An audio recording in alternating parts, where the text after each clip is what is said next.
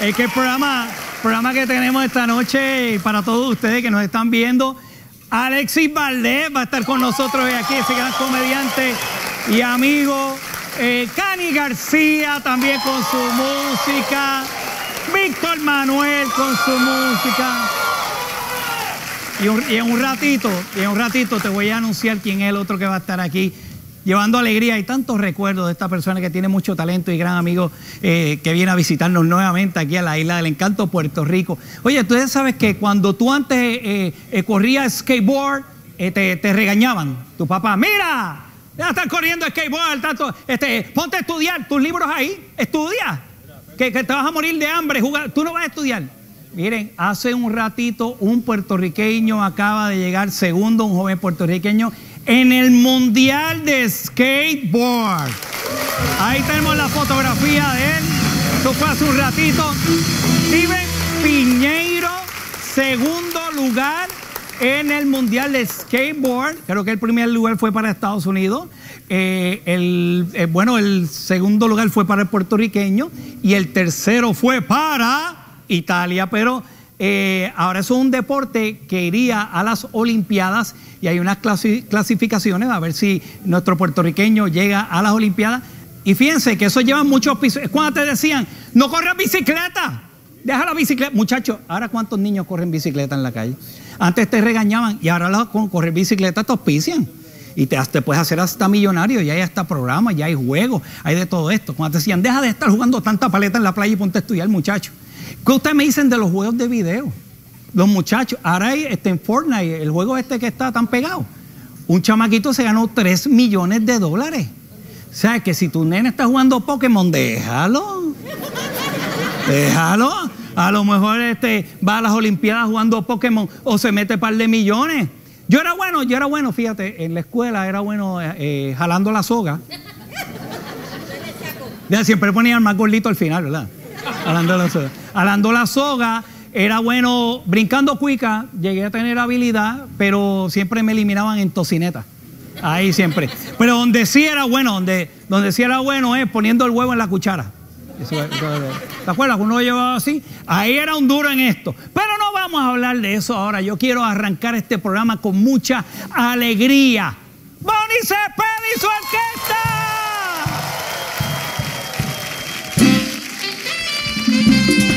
calor.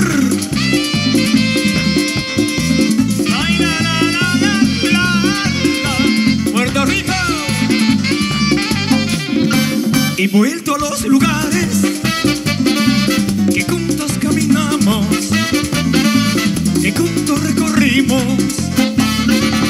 pero no te encontré. He vuelto al bulevar y al pequeño café y al viejo de las flores. Por ti le pregunté.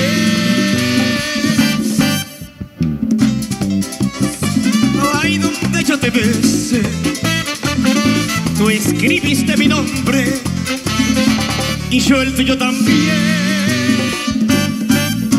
Chiqueima, la asesina volvió, la asesina que mató mi corazón volvió, volvió, volvió, volvió. Oh, Chiqueima,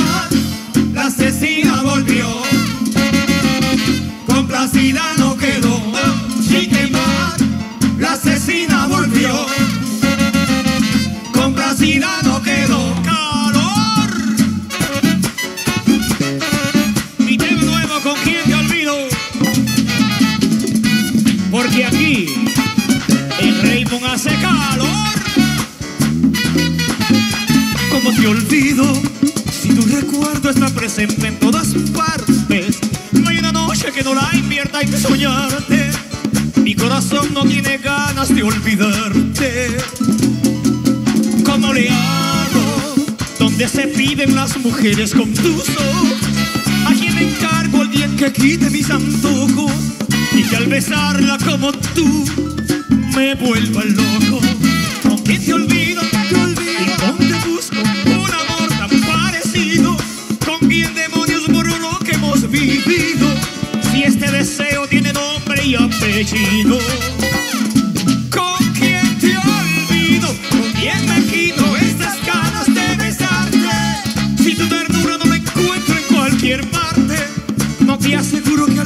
Puedo olvidarte.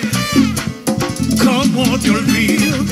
Si yo he venido a esta vida solo a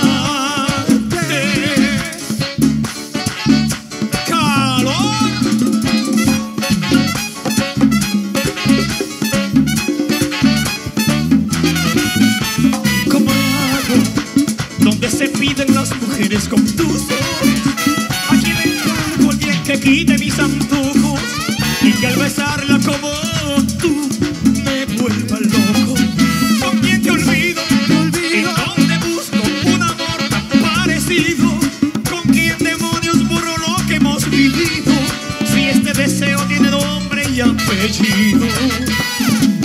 ¿Con quién te olvido? ¿Con quién me quito estas ganas de besarte?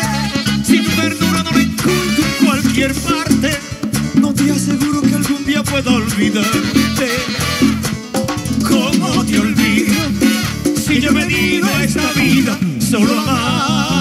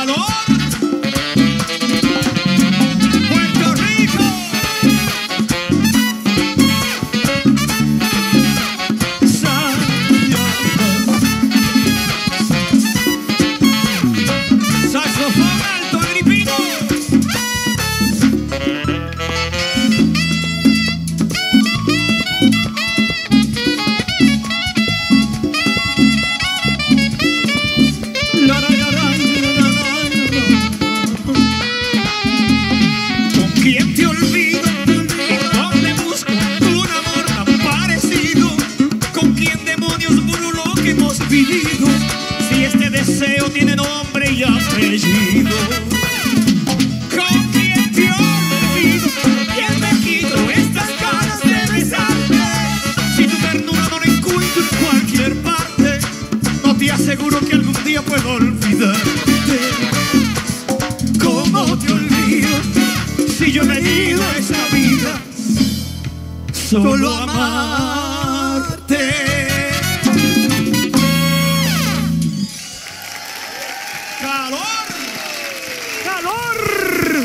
Bonnie Cepeda, mi caballero, así nada más y nada menos arrancamos con este tremendo medley que nos hizo y todos los éxitos que tiene, que si estuviéramos aquí hasta las 5 de la mañana. Brutal, aquí bailando y igualito. En un ratito vamos a estar hablando con él, ¿verdad? Claro que sí. Bueno, pues vamos allá. Buenas noches, primero Buenas que todo a todo noches. ese público hermoso que se conecta con nosotros a través de las redes sociales de Raymond y sus amigos. Y tú sabes, Raymond, que estabas hablando ahorita de este chico que se ganó. La medalla de plata en el Mundial de Skateboard. Así es la mismo. primera vez, el primer mundial que hacen de skateboard y él, el puertorriqueño, se lleva la medalla de plata. Pues está brutal. Y aprovechando ese tema, vamos a invitar a nuestro público a que se conecte con el hashtag Me llevo la de oro. En, En, se me quedó el en. Exacto. Me llevo la de oro en, en el, ba- puedes ir en el vacilón, en dormir, en No hacer tiene que ser un deporte, puede ser cualquier cosa que usted se destaque. Exacto, ahí lo tienen. Me llevo el oro en, ahí está. Me llevo el oro en, En- Aura, corrección. ahí Sí, Eso está. es importante para que se conecten bien con Exacto. el hashtag Me llevo el oro en. Ahí está, ya pueden participar y nosotros nos llevamos la primera comedia. Arrancamos con Raymond y sus amigos.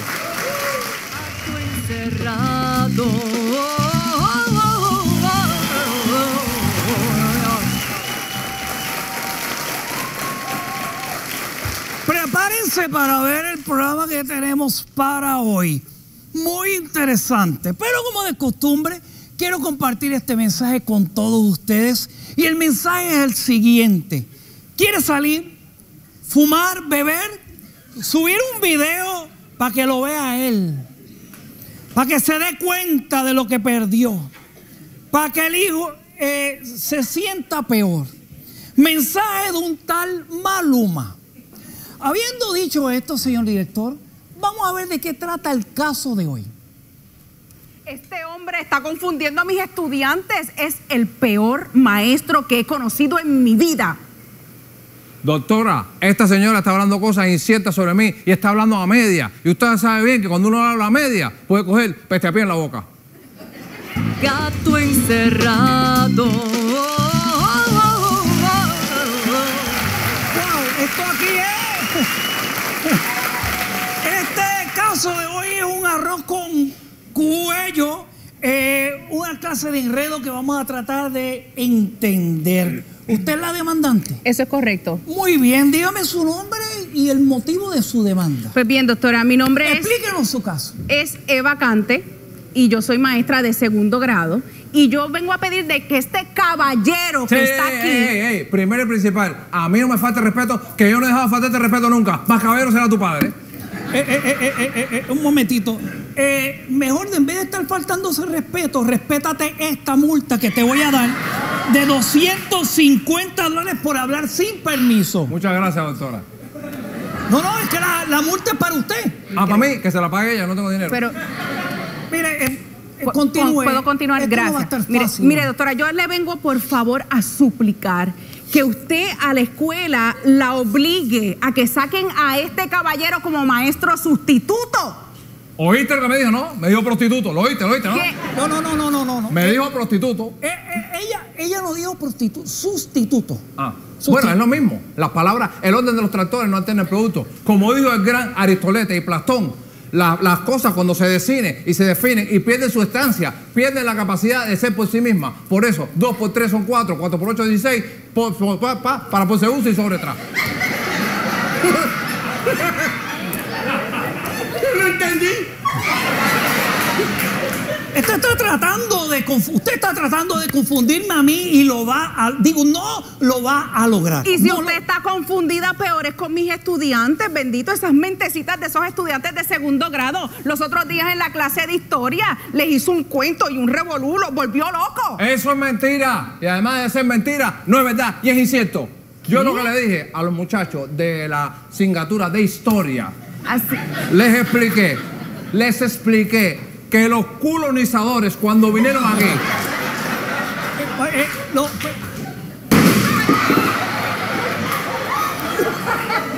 los colonizadores. eso mismo. Vamos, vamos a tratar de entender. Co- Es terrible. colonizadores. Ok. Ajá. Eso, Eh, también se puede decir de esa manera. Esos abusadores que vinieron aquí, dirigidos por Cristóbal Culón y la reina Isabel de Pastilla, se robaron todo y le quitaron a los pobres indígenas, a los indiecitos, le quitaron las cosas de más valor para ellos. Bueno, el, he- hecho que usted dice que saquearon el país, que se, se llevaron el oro, la plata, se, eh, eh, las demás riquezas. que No, había. no, no. El oro, ¿para qué le importaban los indios el oro si los indios no son reggaetoneros? ¿Tú has visto un indio con bling bling? No. Lo que le llevaron a los indios, que eran los demás, a los países, eran las indias que estaban buenísimas todas.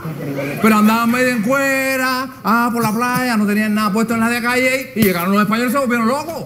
Y entonces dijeron, ah, como esto no está conquistado, le clavaron la bandera, esto es territorio español y es de nosotros. Esto es desastroso, es desastroso. ¿Usted ve? ¿Usted ve? Y en la clase de matemática le dijo los otros días que uno más uno era igual a tres. Oye, me estás difumando. ¿Que te Me estoy estás qué? difumando. ¿Qué Y quiero que sepas que yo solo fumo la medicinal porque tengo glaucoma vaginal en un ojo, ¿ok? Me estás difumando. 500 dólares para que aprendas a fumar. Digo, a sumar. ¿Cómo usted va a decir que uno más uno es igual a, ¿A tres? tres? Se lo explico eh, matemáticamente, doctora, que soy un gran admirante suyo y la respeto mucho por el teorema de Pitagorda. Por ejemplo, si usted, yo digo, yo soy uno, ¿no? Yo soy uno. Usted es uno. sí. Yo soy uno. Mi mujer es una. Es igual a uno. Uno más uno. Cuando yo me sumo con ella y hacemos la, la relación sexosa, ella sale embarazosa y sale el tres, que es el niño. Uno más uno, tres. Dígalo usted misma. Uno a uno. Bueno, ya, ya está me enredó. Vamos, ¿alguien trajo algún testigo aquí? Yo traje dos testículos. ¿Cómo fue? Bueno, traje dos, pero solo uno quiere hablar. Usted trajo un testigo. Sí, por favor. Eh, ok. eh, ¿Y no había, no trajo dos? No, eh, traje, eh, bueno, uno habla y el otro no habla. Pase al que habla, por favor. Bueno, pues yo estoy. Que pase la testigo. El testículo hablante, sí. Ok, muy bien. Usted, Saludos. Usted la, usted la testigo. Saludos, doctora. Yo soy la directora de la escuela donde ellos trabajan. Mi nombre es María Cristina. María Cristina, mire esto. Agárramela como a mí me gusta. Ay. Tú tienes una cara tan bonita Ay, Tú tienes un cuerpito escultural Ay, y yo tengo problemas en la vista. ay. Los ojos yo me tengo que operar. Ay, María Cristina, tú me quieres enamorar. Ay, María Cristina.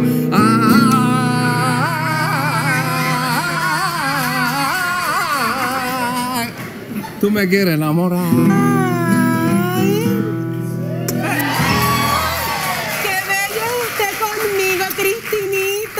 Por favor, vuelva al, al podio, por favor. Eh, y este enchule que estoy viendo en el aire así de momento, ¿qué es esto? Bueno, déjeme explicotearle. Eh, es que a ella le gusta, a ella le gusta el son cubano, porque el son cubano tiene la clave. Y me trayó la clave y la clave, ella más le gusta el son. Así mismo, doctora.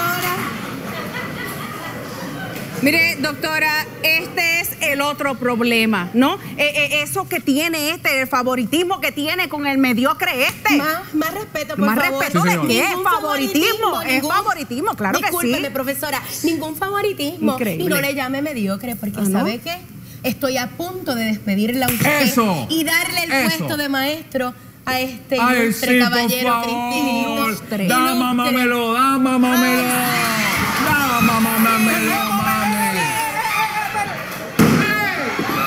¿cómo que la- la- darle qué? Que me dé el puesto. Para ser maestro oficial y dejar de ser prostituto. Que se quede prostituta ella. Sustituto, ¿Pero qué? Pero- sustituto. Eh, O sea que usted, usted sería capaz. Escúcheme bien lo que voy a decir. Usted sería capaz de salir de una buena maestra para darle el puesto a este loco Mediocre. que tenemos aquí. De música, poetas, locos, todos tenemos un poco y a mí me encantan los métodos innovadores que el profesor Cristinito ha traído a mi escuela y además me encanta todo lo que hace. Claro, como se la toco la guitarra. Ay, me encanta. Claro. Tóquemela. Doctora, ¿qué es eso? Sí, ok. Tóquemela. Ok, un momentito. Eh, eh, usted, Tóquemela. Ok, Ahora voy, está- ahora voy. eh, directora, ¿usted me haría un favor? Claro, como no. Lárguese para el infierno, Gracias. señor. Hágame el favor. doctora, por Sí, favor. no, no, no, Gracias. haga- vamos, Gracias. vamos, sá- sáquele la- Sáquemela. sáquele- Esto es increíble. vamos, Esto es para increíble. Yo les voy a poner una situación escolar a ver con uno, una madre, un estudiante. Claro que sí. Y el mejor que la resuelva, entonces vamos a tomar la decisión del caso. Claro que sí. Tire lo que quiera. Este sería el caso. El niño no le va muy bien a la escuela, está colgado, le va mal. La madre no lo lleva a la biblioteca, no lo pone a estudiar, ni siquiera se reúne con los maestros a ver. Eva, ¿qué usted haría? Primero, primero Pues, comenzamos Yo con lo usted. primero que haría, doctora, es citar a los padres. Y yo le hablaría a los padres y le diría que su hijo necesita apoyo, que necesita que, que- que lo atiendan y en el peor de los casos hasta servicios sociales llamo.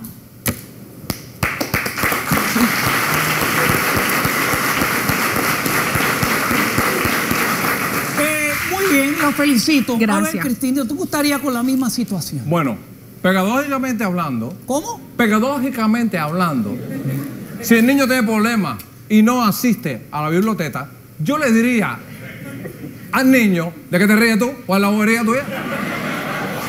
I'm sorry, I'm sorry, bro. Ok. Eh, yo diría primero que todo depende. Depende de cómo son las situaciones. Por ejemplo, yo cito a la madre. Si la madre está buena, el problema es del niño. Entonces yo hablo con ella para establecer un plan. Un plan. Lo que necesitamos es un plan. ¿No? Eh, un plan. Un plan. de- ¿Y de qué es el plan? ¿De qué depende este plan? El plan. Para hacer un niño nuevo, porque ese ya no sirve. Hacer un niño nuevo increíble. porque ese ya no sirve. No va a la biblioteca, no estudia, ese no sirve ya. Hacemos un niño nuevo entre la madre y yo y caso resuelto. Ok, ese es un plan de, ese sería su plan. Bueno, eh, le voy a pedir de favor, eh, sargento de armas, que escolte al imbécil este, al estúpido este, para afuera del estudio inmediatamente. Sáquelo de aquí. Vamos, para afuera. Gracias, gracias, Ok. doctora. Gracias. eh, eh, sin violencia, Gracias. sin violencia. A ver, levanta las manos, levanta las manos. ¿Tú qué perfume usas? Blancanieves. Blanca Nieve. Pues tiene un enano muerto bajo suelta. ¿Qué- Hágame el favor, esto? escórtelo hacia afuera. Usted gana el caso, se queda en la escuela Gracias. y Cristinito para afuera. Gracias. He dicho, punto ese grado. Gracias, gato encerrado. Bueno, te dijeron que